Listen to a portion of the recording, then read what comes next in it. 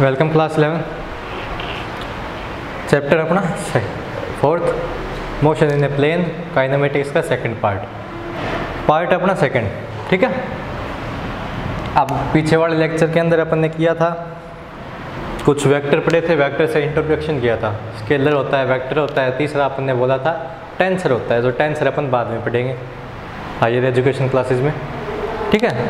Tensor होता था जिसकी डायरेक्शन तो होती थी, लेकिन वो वेक्टर लॉज के अकॉर्डिंग ऐड नहीं होते थे। या वेक्टर लॉज थे जो ऐड या सब्ट्रैक्ट होने के, वो उन पर अप्लाई नहीं होते थे।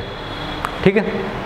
उसके बाद अपन ने कुछ टाइप के वेक्टर देखे थे। उसके अंदर लास्ट में था को लीनियर था को प्लेनर था, अब थे कॉन्क्यूरेंट कॉन्क्यूरेंट वेक्टर वो होते हैं जो एक ही पॉइंट से निकलते हैं। जो वेक्टर एक ही पॉइंट से निकलते हैं, उनको क्या बोलते हैं? कॉन्क्यूरेंट वेक्टर बोलते हैं। या कह सकते हैं, जिनकी टेल क्या हो? एक ही पॉइंट के ऊपर को हो। एक ही पॉइंट के ऊपर को हो तो उनको क्या बोलते थे? Concurrent vector. अब यूनिट वेक्टर देखो। यूनिट वेक्टर देखो क्या होता है? यूनिट वेक्टर एक ऐसा वेक्टर है, अगर यूनिट वेक्टर ये है, एक यूनिट वेक्टर है, ठीक है? तो इस यूनिट वेक्टर का मैग्नीट्यूड जो होता है वो एक होता है। यूनिट वेक्टर वो वेक्टर है जिसका मैग्नीट्यूड क्या है? एक है। ठीक है? अब यूनिट वेक्टर है तो इसकी डायरेक्शन अगर ए वेक्टर है, अगर अपना पास, अगर ये आई यूनिट वेक्टर है, और ए अपना कोई और वेक्टर है, ठीक है? आई क्या अपना? यूनिट वेक्टर को पहली बात तो शो करते हैं कैप से। ठीक है? एरो नहीं लगाते कैप लगाते हैं, इसे बोलते हैं प्रोनाउंस करते हैं एज आई कैप ठीक है? अब ए वेक्टर को इस डायरेक्शन के अंदर है, और अपना आई भी क्या है? इस डायरेक्शन के अंदर है। अपना आई कैप भी क्या है? इस डायरेक्शन के अंदर है। तो ए वेक्टर है, उसके अंदर क्या क्या होगा भाई एक तो ए का मैग्नीट्यूड होगा। एक होगा डायरेक्शन होगी या नहीं होगी? एक ही डायरेक्शन होगी। अब जो ए की डायरेक्शन है वही किसकी डायरेक्शन है। अपने यूनिट वेक्टर आई की डायरेक्शन है। ठीक है? यूनिट वेक्टर आई का मैग्नीट्यूड कितना हुआ अभी? एक। तो मैं क्या ये बोल सकता हूँ कि ए वेक्टर का जो मैग्नीट्यूड है, वो मोड ए है। और ए वेक्टर की जो डायरेक्शन है, वो क्या है? आई कैप है। क्योंकि आई कैप भी उसी डायरेक्शन के अंदर है। यानी यूनिट वेक्टर का काम क्या होता है? किसी दूसरे वेक्टर की डायरेक्शन शो करना। किसी दूसरे वेक्टर की डायरेक्शन शो करना। तो आई कैप बोलूँगा तो ए वेक्टर किस किस से बनेगा A magnitude dot I cap जहाँ पे आई कैप शो करेगा उसकी डायरेक्शन को, क्योंकि आई कैप का जो मैग्नीट्यूड होता है, वो तो एक होता है। तो यूनिट वेक्टर का काम होता है किसी दूसरे वेक्टर की डायरेक्शन बताना। ठीक है? आगे समझ में? ज़ीरो वेक्टर ज़ीरो वेक्टर ये होता है कि जब अपन बात करते हैं कि जो अगर ये इसी लेक्चर में अपन देखेंगे कि जब वेक्टर ऐड सब्ट्रैक्ट या कुछ भी उनके ऊपर अप्लाई अप्लाई किया जाता है, जैसे दो वेक्टर है A plus A A plus B उनको जब ऐड करते हैं तो सी जो आएगा वो भी एक वेक्टर होगा। होगा या नहीं होगा? लेकिन केस जब ऐसा बन जाए कि दो वेक्टर है जो सेम है, दो वेक्टर सेम वेक्टर है ए और ए लेकिन दोनों की डायरेक्शन अलग है तो वो जब ऐड होंगे तो किस टाइप से होंगे? ए माइनस ए यानी इस टाइप से होंगे? A plus minus A negative vector पढ़ा था। नेगेटिव वेक्टर क्या होता है भाई जिसका मैग्नीट्यूड सेम हो, जिसके डायरेक्शन अपोजिट हो। तो इनको जब ऐड करेंगे तो ये क्या बनेंगे? इस टाइप से बनेंगे जिसका वैल्यू आएगी ज़ीरो तो मैंने बोला वेक्टर को जब ऐड और सब्ट्रैक्ट करेंगे तो एक वेक्टर आएगा। यहाँ पे वैल्यू क्या आ रही है? ज़ीरो इसको नाम क्या दिया गया? ज़ीरो वेक्टर ज़ीरो वेक्टर वो वेक्टर होता है जिसका मैग्नीट्यूड ज़ीरो हो। मैग्नीट्यूड ज़ीरो हो। और जिसकी डायरेक्शन क्या हो? या तो बोल सकते हैं जिसकी कोई डायरेक्शन ना हो, या बोल सकते हैं वो सभी डायरेक्शन में हो। या तो किसकी कोई डायरेक्शन ना हो, या वो सभी डायरेक्शन के अंदर दोनों उसकी डायरेक्शन है। ठीक है? इसका यूज़ आपने देख लिया वैसे तो। वैसे आप एक्सटेंड करके भी देख लेंगे, आगे कहाँ कहाँ पे होता है। तो यूनिट ज़ीरो वेक्टर या नल वेक्टर भी बोलते हैं, इसको क्या बोलते हैं? नल वेक्टर नल वेक्टर क्या होता है भाई? जिसका मैग्नीट्यूड ज़ीरो और जिसकी डायरेक्शन क्या हो? कोई ना हो या हर डायरेक्शन में हो। क्योंकि हर डायरेक्शन और कोई डायरेक्शन ना होना, दोनों एक अनडिफाइंड स्टेट होती है तो दोनों ही अप्रूव्ड है। अब देखो, अपना जो आज का टॉपिक है, ये तो अपन ने पीछे वाला कर गया था, वो क्या है? आज का टॉपिक है, वो है vector laws of addition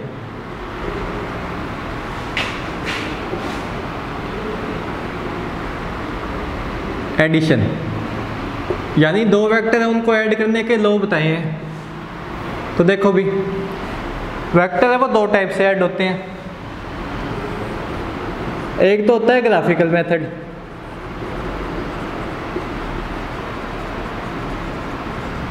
एक होता है एनालिटिकल मेथड जो दो आपकी इंपॉर्टेंट है, जो अपने यहाँ पे है, वो ये दो है। ग्राफिकल मेथड तो होता है जब अपने पास दो वेक्टर दिए गए हैं।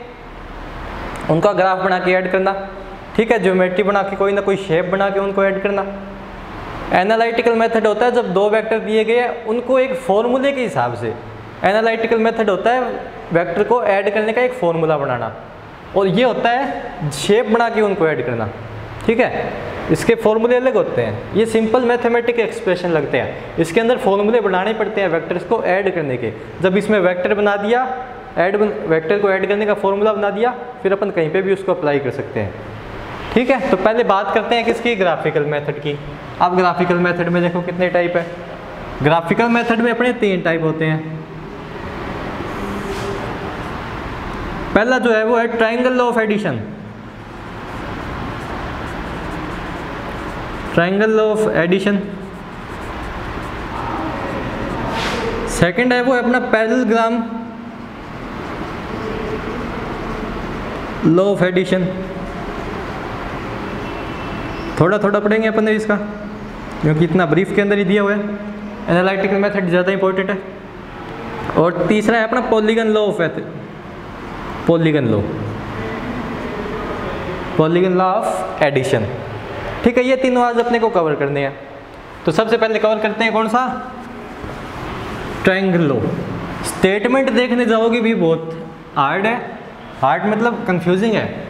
उसकी लैंग्वेज ही कुछ ऐसी है। अपन समझते हैं पहले तो फिर उसकी लैंग्वेज भी बनाएँगे। कि अगर दो वेक्टर है, वो इस टाइप से है।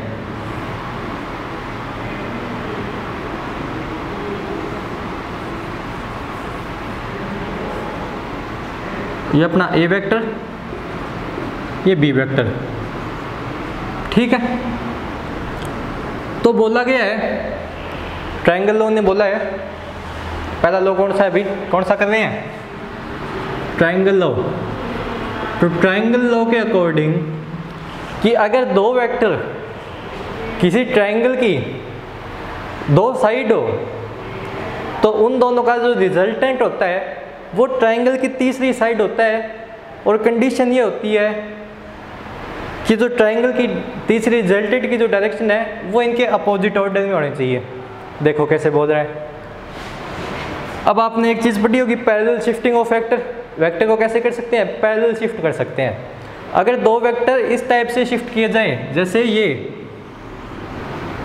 एक बात याद रखो ग्राफिकल मेथड के अंदर जितनी लेंथ का जो अपने पास एरो है, उतनी लेंथ का एरो लेना है, ठीक है?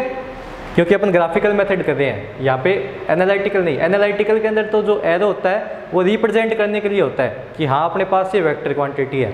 ग्राफिकल मेथड के अंदर जो एरो होता है, उसके अंदर मैंने बताया था कि जो एरो की जो टेल होती है, वो मैग्नीट्यूड को शो करती है और एरो का जो हेड होता है, वो डायरेक्शन को शो करता है। तो जितना लंबा एरो उतना उसका मैग्नीट्यूड ठीक है? तो लेंथ का आपको सेम लेंथ का लेना है ग्राफिकल मेथड के अंदर। एनालिटिकल में अपने को नहीं लेना। ग्राफिकल मेथड में लोगे? ए अब क्या किया जाए कि इसके हेड के साथ इसकी टेल को पैरेलल शिफ्ट कर दिया जाए। जितने एंगल से अगर थीटा एंगल से है तो थीटा एंगल से करो। अगर इसको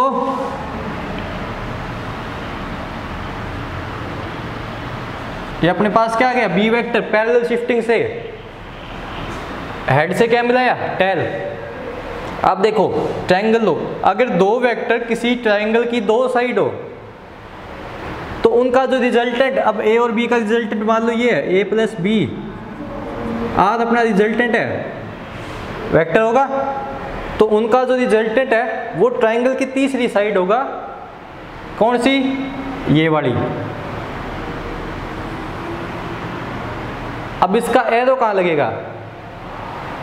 बोलता है अपोजिट डायरेक्शन के अंदर। मैग्नीट्यूड होगा वो ट्राइंगल की तीसरी साइड होगा और रिजल्टेंट की जो डायरेक्शन होगी वो इनके अपोजिट होगी। अब देखो ये कैसे जा रहा है। ए से इस साइड गया। ए से क्या जाएगा ए का हेड यहाँ पे। टेल इस साइड यानी ये इस साइड जा रहा है। कुछ क्या जा रहा है? ऐसे जा रहा है। ऐसे जाके फिर ऊपर जा रहा है। अब इसका अपोजिट कहाँ से आएगा? अगर आप किसे यहाँ से ले आओ। ये इसका क्या होगा? अपोजिट यानी इसको जा कहाँ से रहा? ऐसे गए, अगर अपन इसके ऐसे लेके आए, यानी एरो कहाँ बनाए? ऐसे तो ये क्या होगा? रिजल्टेंट होगा। ये क्या होगा? रिजल्टेंट होगा। लैंग्वेज समझ में आ गई? कि अगर दो वेक्टर किसी ट्रायंगल की दो डायरेक्ट दो साइड हो तो उन दोनों वेक्टर का जो रिजल्टेंट होगा, वो ट्रायंगल की तीसरी साइड होगा और उस ट्रायंगल के रिजल्टेंट की जो डायरेक्शन है, वो इन दोनों के ऑर्डर के अपोजिट होगी। इन दोनों का ऑर्डर इस साइड है तो इसके अपोजिट होगी। इस साइड जा रहे थे ना, ऐसे जा रहा था, इसके अपोजिट लाएँगे। ठीक है? इसके अपोजिट नहीं, कि ये इस साइड ऐसे गया और यहाँ पे, अब यहाँ पे क्या करें अपन, वापस ऐसे लेके आए। एरो का साइन यहाँ पे नहीं होगा, ऊपर होगा। कब, कभी आप कोई ऐसे गए थे, फिर ऐसे लेके आओ। ठीक है? इनिशियल पॉइंट से देखना है अपने को। आगे समझो? तो ये था अपना ट्राइंगल लॉ ऑफ़ एडिशन जिसके अंदर ये अपना रिजल्टेंट है। अब इस रिजल्टेंट की वैल्यू होगी, वो अगर निकालना चाहिए तो निकाल सकते हैं अपन, है ना? अब देखो ए और बी के एंगल बीच में कौन सा है? ये थीटा और थीटा मैंने बताया है थीटा हमेशा कैसा होना चाहिए भी दो वेक्टर के बीच में एंगल दे रहे हो तो ज़ीरो, थीटा, पाई या 180 थीटा की वैल्यू हमेशा क्या होगी? 180 डिग्री से कम लेनी है। क्यों लेनी है? पता चल गया था बताया था कल वाले लेक्चर के अंदर। तो ये था अपना वेक्टर ऑफ़ एडिशन। अब देखो, इसका कुछ एग्जांपल लेते हैं कि अगर कोई ऑब्जेक्ट है, वो चार मीटर नॉर्थ में चला। अब चार मीटर का मैग्नीट्यूड वाला है तो कहाँ पे? नॉर्थ में। चार मीटर नॉर्थ चल के वो कहाँ गया भाई? तीन मीटर वेस्ट के अंदर गया। अब ग्राफ बना रहे हो तो मैग्नीट्यूड एरो की टेल के हिसाब से लंबा लेना है। वेस्ट में गया भाई। ठीक है? अब देखो। इसका जो रिजल्टेंट होगा, वो कैसे निकलेगा? ये दो ट्रायंगल की साइड है, अगर ए वेक्टर मानो इसको A vector four metre in north and B vector three metre in west अब इनका जो रिजल्टेंट होगा, वो तीसरी लेंथ होगी ट्रायंगल की। तीसरी लेंथ होगी। ये अपना रिजल्टेंट होगा। इस रिजल्टेंट की वैल्यू कहाँ से आएगी भी? ये 90 डिग्री एंगल बन रहा है। तो आर की वैल्यू होगी? पहले क्या निकालोगे आर का? मैग्नीट्यूड तो आर का मैग्नीट्यूड कैसे निकलेगा अभी? आर के इसका हाइपोटेनियस है। तो आर की स्क्वायर इक्वल टू ए के मैग्नीट्यूड की स्क्वायर प्लस बी के मैग्नीट्यूड की स्क्वायर जो कितना आ जाएगा बी फाइव मीटर आ जाएगा। आर का मैग्नीट्यूड कितना आएगा अभी? फाइव मीटर आ जाएगा। ठीक है। अब डायरेक्शन कौन सी होगी? रिजल्टेंट की डायरेक्शन पूछी है वो तो अपन बता रहे थे इनके बीच का एंगल अब पूछा है रिजल्टेंट की डायरेक्शन तो रिजल्टेंट की डायरेक्शन बोलेंगे भी थीटा जिस डायरेक्शन में होगा, उस डायरेक्शन में क्या होगा अभी अपना? ये होगा। तो थीटा निकालोगे तो वैसे तो आपको पता ही है। अगर बेस चार हो तो ये कितना होता है अभी थर्टी सेवन होता है। अगर बेस तीन हो तो ये थर्टी फिफ्टी थ्री होता है है ना? यहाँ पे चार हो, ये शिफ्ट हो जाए तो फिफ्टी थ्री वरना थर्टी सेवन तो इसकी वैल्यू निकाल सकते हो। क्या लगाओगे? टेन थीटा कितना आएगा अभी? Three by four theta is equal to tan inverse three by four इसकी वैल्यू थर्टी सेवन डिग्री होती है। है ना?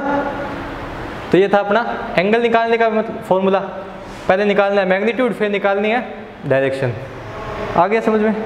इतना ही है अपना ट्रायंगल लो। चलो उसके बाद देखते हैं क्या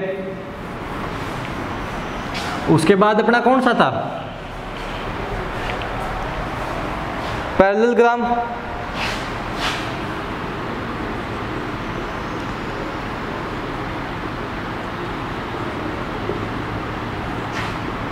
पैरेललोग्राम लॉ में देखो क्या बताया अभी। इसमें मान रहे थे कि दो वेक्टर है जो पैरेलल शिफ्ट करके अपन एक पॉइंट के ऊपर ला रहे हैं। और किस टाइप से ला रहे हैं? कि एक का हेड दूसरे की टेल एक का हेड दूसरे की टेल अगर ये बोले कि दो कॉन्क्यूरेंट वेक्टर है भाई पैरेललोग्राम में बोला जाए कि दो कॉन्क्यूरेंट वेक्टर है, इस टाइप से.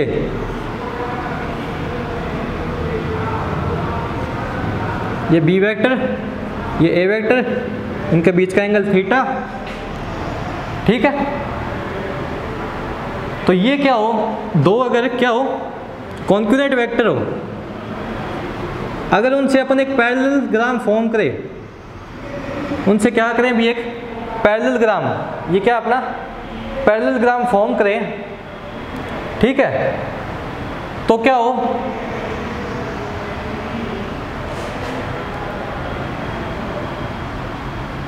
आगे देखो। अगर पैरेललोग्राम फॉर्म करें तो उनका जो रिजल्टेंट होगा पैरेललोग्राम का लो ये बोलता है कि अगर दो कॉन्क्रेंट वेक्टर है, जो किसी थीटा एंगल से टेल से टेल मिलाए हुए हैं टेल के साथ टेल कोइंसाइड कोइंसाइड उनकी, ठीक है? तो उनका जो रिजल्टेंट होगा, वो क्या है? उस पैरेललोग्राम का डायगोनल होगा। उस पैरेललोग्राम का डायगोनल होगा। अब पैरेललोग्राम के दो डायगोनल हो सकते हैं, एक तो ये वाला और एक ये वाला। तो दो वेक्टर अगर कोइंसाइड हो कॉन्क्यूरेंट हो, उनका रिजल्टेंट होगा पैरेललोग्राम का डायगोनल और वो वाला डायगोनल होगा जो कहाँ से निकलता हो, जहाँ पे उन दोनों की टैल मिल रही हो, दोनों वेक्टर की। तो जहाँ पे उन दोनों की, या बोल सकते हैं जहाँ पे दोनों वेक्टर कोइंसाइड हो। तो यहाँ पे दोनों वेक्टर कोइंसाइड है। यहाँ से निकलने वाला जो डायगोनल है, वो क्या होगा भी रिजल्टेंट होगा। रिजल्टेंट होगा कौन सा? R. Value A plus B. और उसकी डायरेक्शन कौन सी होगी? जिस डायरेक्शन के साथ? अगर ये मान लो कितना एंगल है? एल्फा तो बोलेंगे आर वेक्टर की जो डायरेक्शन है वो ए की रिस्पेक्ट में एल्फा एंगल है। और बी की डायरेक्शन में मान लेते हैं कितना? थीटा माइनस एल्फा कर देना, या बीटा बोल देना। आ है समझ में? यानी पैरेलल ग्राम का अगर दो वेक्टर है, दोनों कॉन्क्यूरेंट है, एक पॉइंट से निकल रहे हैं और पैरेललोग्राम फॉर्म कर रहे हैं, इस टाइप से पैरेललोग्राम तो पैरेललोग्राम का जो डायगोनल होगा, वो रिजल्टेंट देगा। ठीक है? कौन सा डायगोनल देगा? जो दो वेक्टर के कोई कोइंसाइड पॉइंट से निकल रहा है। तीसरी बात रिजल्टेंट की डायरेक्शन वो होगी, जो इस ए के साथ या बी के साथ एंगल बना रहे हैं। ठीक है? निकालते हैं क्या? क्वेश्चन लेते हैं? देखो।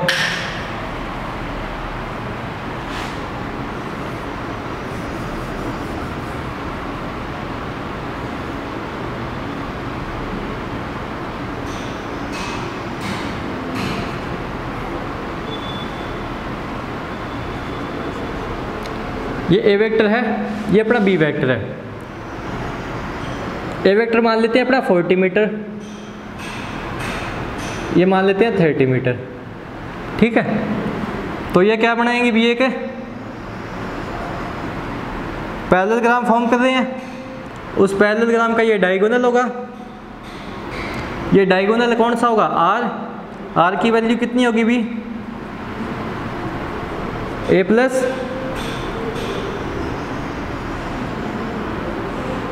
बी ठीक है मैग्नीट्यूड लेने जाओगे तो आर वेक्टर का magnitude equal to A vector का मैग्नीट्यूड प्लस बी वेक्टर का मैग्नीट्यूड। तो आर होगा वो कितना होगा बी? ए प्लस बी करोगे तो कितना आएगा? 70 मीटर आएगा। ठीक है? आगे। कितना आएगा?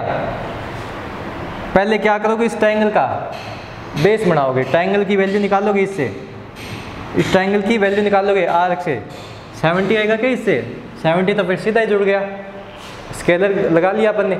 अपन तो स्केलर निकाल के इसका 40 प्लस थर्टी कर हैं इसका बेस कितना मानोगे? 40 पैरेलल शिफ्टिंग लगाओगे?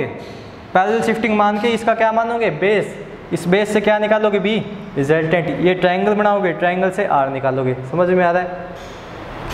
ठीक है। ये अपना पैरेललोग्राम लो।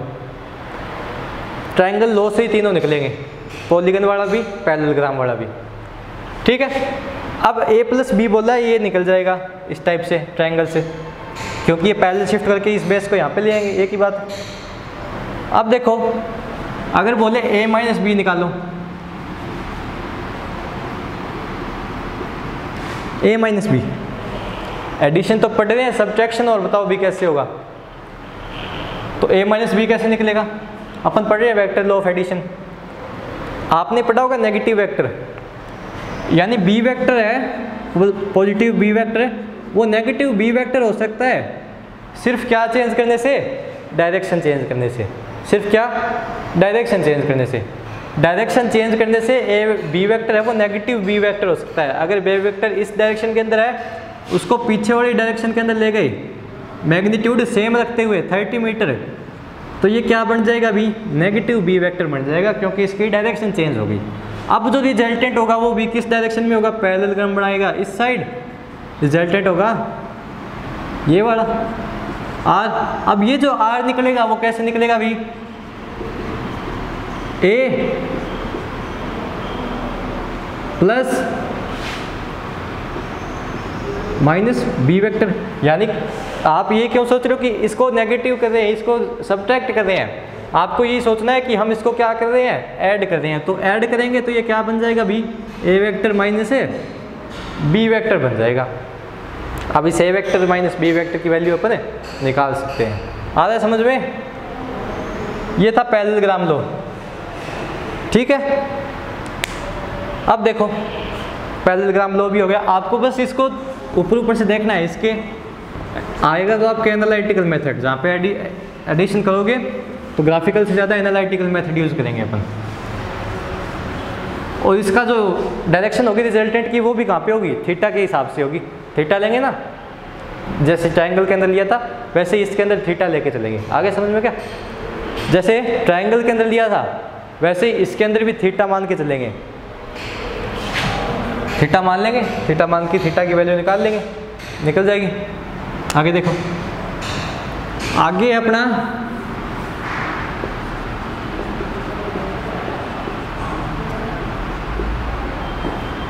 पॉलीगन लो। पॉलीगन लो देखो क्या होता है? कि अगर अपन ने दो वेक्टर का एडिशन किया अभी तक, अगर मोर देन टू वेक्टर हो, दो वेक्टर से ज़्यादा वेक्टर है, वो किसी प्लेन के अंदर हो, ठीक है? किसी प्लेन में हो, या पैरेलल शिफ्टिंग करके अपने को लाने पड़े। अगर चार वेक्टर वो है, वो इस टाइप से है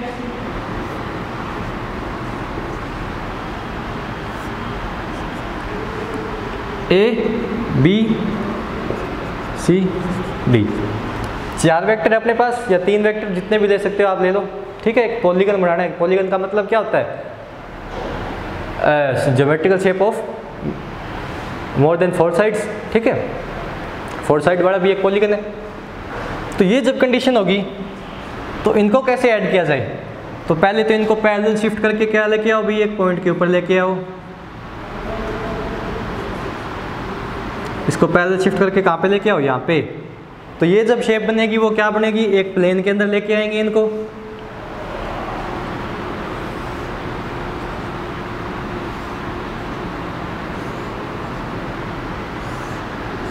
ये अपना D C vector A vector कहाँ से? ओ पॉइंट से। कॉन्कुरेंट वेक्टर है चारों। निकले। अब इनको जब ऐड किया जाए तो कैसे ऐड करेंगे? देखो। कि जब इनको बोला जाए चार वेक्टर को ऐड किया जाए तो लगाते हैं अपना पॉलीगन लो पॉलीगन लो कहता है कि चारों वेक्टर्स को एक दूसरे की टेल के ऊपर, एक दूसरे के टेल से हेड मिलाते हुए पैरेलल शिफ्टिंग करो। टेल से हेड मिलाते हुए पैरेलल शिफ्टिंग करो। तो ए वेक्टर अपना ये था। इसकी हेड से टेल मिलानी है किसकी? बी की। लेकिन पैरेलल शिफ्टिंग करते हुए। अब बी की किसके साथ?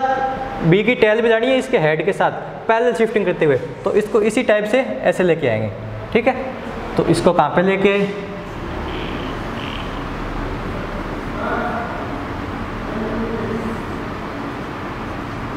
ये बी वेक्टर अब सी की टेल में आनी है किसके साथ भी? इसके हेड के साथ। तो इसको थोड़ा ऊपर करके यहाँ पे लेके आएँगे। तो इसके हेड भी यानी सी को कैसे लेके आए भी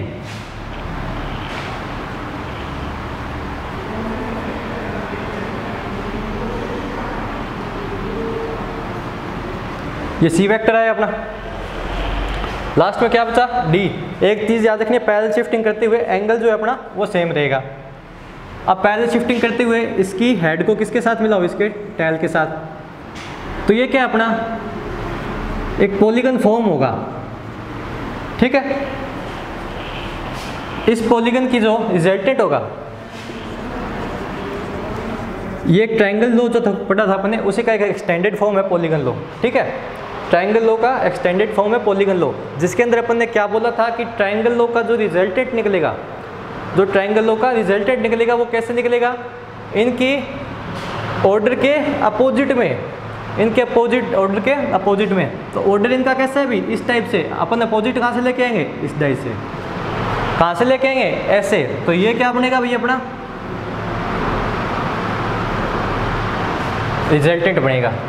और इस रिजल्टेंट की जो वैल्यू होगी, वो पैरेललोग्राम के हिसाब से A plus B plus C plus D होगी।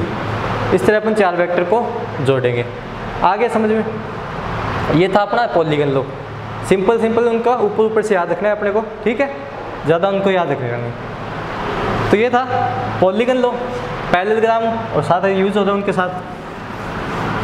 अब कुछ और बातें पढ़ लेते हैं। दो तीन बातें जो आपको सीधे याद रखनी है। पहली बात कि वेक्टर का जो एडिशन होता है वो कम्यूटेटिव होता है। कम्यूटेटिव का मतलब A vector plus B vector equal to होता है B vector plus A vector. इसे बोलते हैं कम्यूटेशन।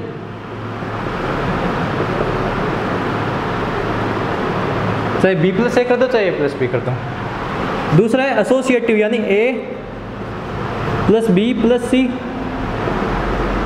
equal होता है A plus B plus C के। इसे बोलते हैं एसोसिएटिव ये भी टर्म क्या है? सही है। दो चीज़ याद रखनी है आपको, ठीक है? अब कम्यूटेटिव का देखो तो देख लो। अगर अपने पास ये था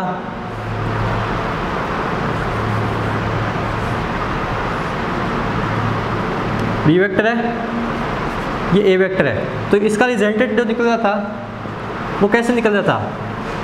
Resultant is A plus B. अगर इस वेक्टर ए को पैरेलल शिफ्ट करके किस डायरेक्शन में ले आए? इस टाइप से ले आए। तो इसका जो रिजल्टेंट निकलेगा, वो कैसे निकलेगा अभी? B plus A. क्योंकि अपन ने पहले क्या फॉर्म किया? बी बी की टेल से क्या मिलाया? ए का हेड तो इन दोनों से क्या प्रूव हो रहा है कि जो वेक्टर लो है एडिशन का वो क्या होता है अभी? कम्यूटेटिव होता है और इसी टाइप से क्या होता है वो? एसोसिएटिव होता है। तो ये पढ़ा है अपने graphical method of vector law of addition अब कल पढ़ेंगे एनालिटिकल मेथड जिसके अंदर अपन फॉर्मूले फॉर्म करेंगे वेक्टर को ऐड करने का।